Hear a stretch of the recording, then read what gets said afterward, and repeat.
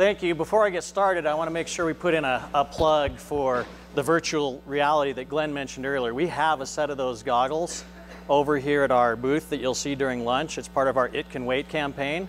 And it's a really eye-opening experience. Uh, it's, it's pretty neat to see the advancements that have come along and the technologies that are available there for us today. So make sure you get a chance to go visit Whitney over there and uh, try on those goggles. It's, it's pretty amazing if you haven't seen that so far. Make sure that you take the full 360 view while you're in there.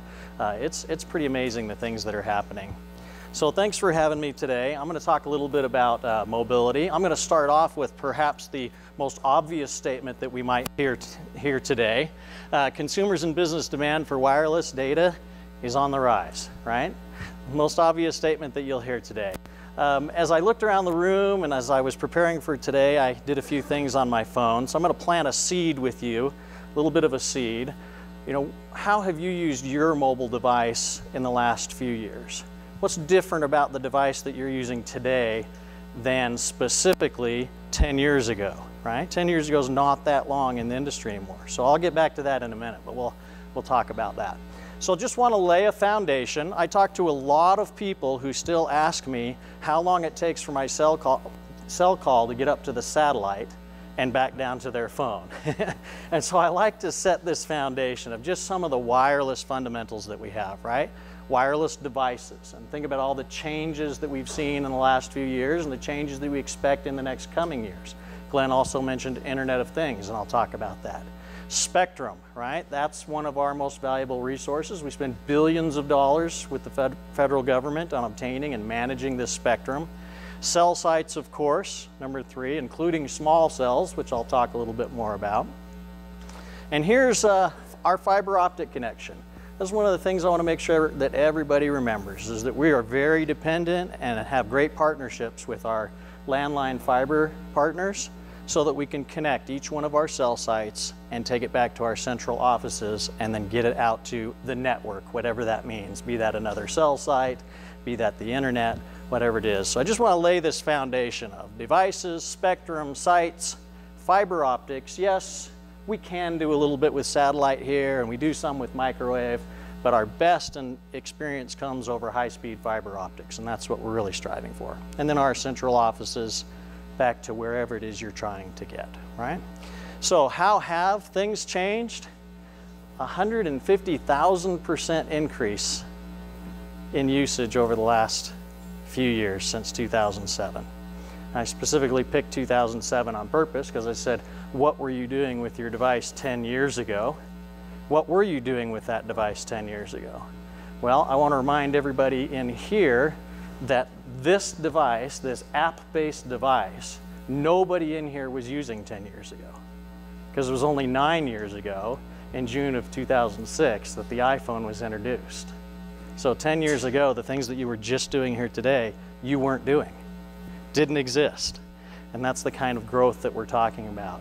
And I think it was Mike from Xfinity gave an unofficial number of doubling that traffic on his broadband network over the next 18 months, and we're seeing that same kind of growth. And we can expect that in the wireless industry as well.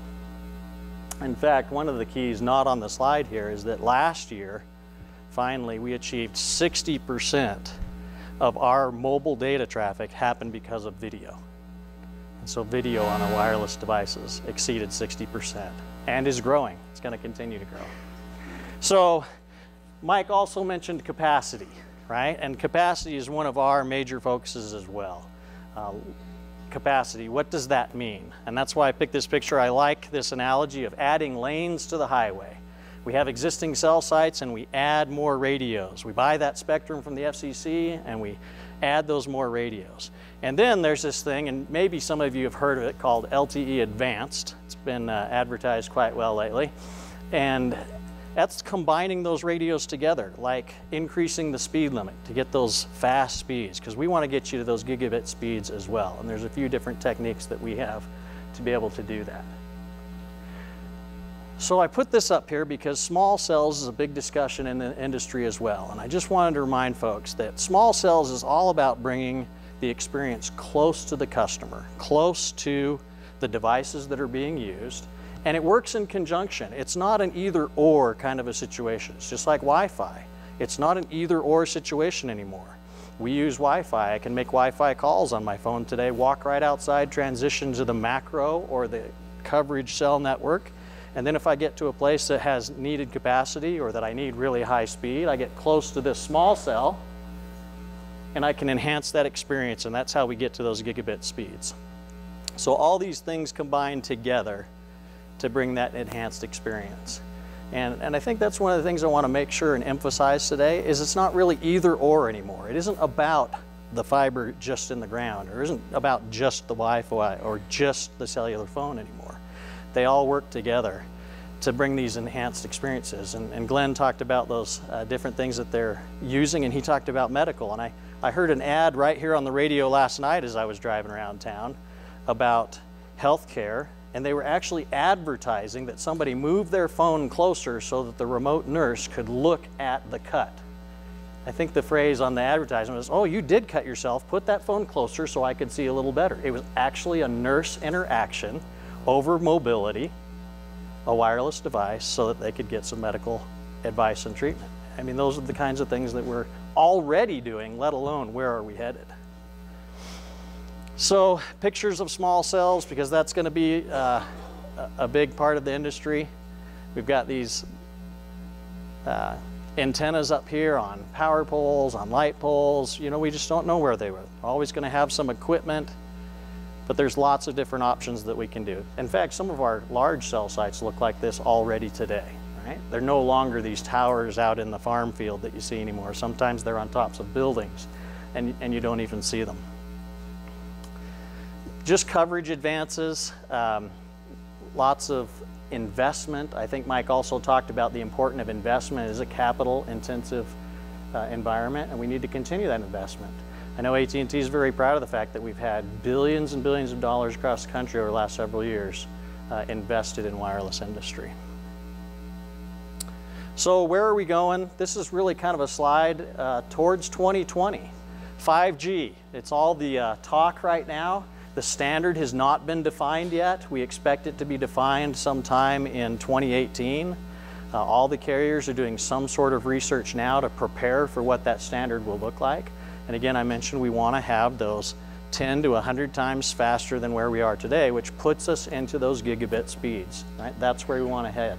We want to make that access easy. We want to make it mobile for you so that you can have it anywhere that, that you need, as was mentioned earlier as well. Uh, we just talked about Project AirGig. I like to reference this one as uh, another option for the last mile. Can we, the power infrastructure is already there.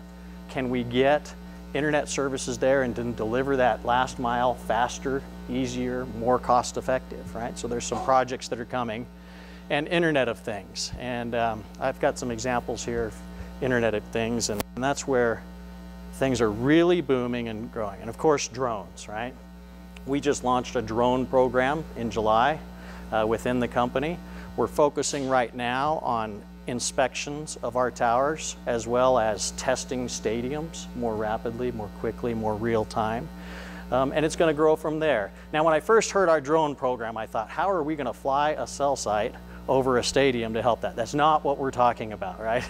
we're not talking about putting full cell sites. Although I have seen one of our providers already uh, looking at using drone technology to deposit a temporary cell site on top of a roof for an emergency event. I thought that was pretty neat. Still needs that backhaul connection, so how's that going to happen? They're going to work through that. um, I'm going to move off of this slide really quick. It really the, the point here is, and I think Glenn mentioned it, you know, 6.2 billion connected Internet of Things, whatever that means. And by 2025, we're headed for 27.7 billion things connected, right, to the Internet. Um, many of those are cars. We've already heard about connected cars. We've been working in that space. Uh, I happened to do some work in Detroit about 15 years ago and was talking to the automakers out there about antenna optimization for the cars to, to make this happen. And so that was a lot of fun. Um, We're already working with top manufacturers, and it's more than just Wi-Fi in the car, right? This isn't just about giving the kids Wi-Fi so that they can have a quiet ride as you go around the country, right? It's more, it's about safety, right? It's about redirecting traffic actively. It's about waking up computers when they fall asleep. It's all kinds of things. So, see if the screen comes back alive. I think my next slide is the one that. Uh, there we go. There we go. Oh. Well, the next slide, when it comes up, you'll see in the top left corner it says there's 80 things connected to the internet every day right now. And by 2020, I believe it is, we're expecting 250 things connected every second. Sorry, not 80 things every second today, 250 things every second. I mean, that's pretty exponential growth. It's outpacing our human growth for sure. But those are the kinds of things that we want, right? Our watches, our devices, things that I can't even imagine, right? How about Glenn mentions the, the, the, cities, right? Lighting, water, parking, energy grids. Can we redirect energy to where the demand is today? Can we redirect traffic and cut down on pollution and, and other impacts? All right. Remote monitoring infrastructure. We've got a, an example here in a couple of pages uh, that I really like. It's about monitoring water. Water is a huge issue, especially for us here in the West.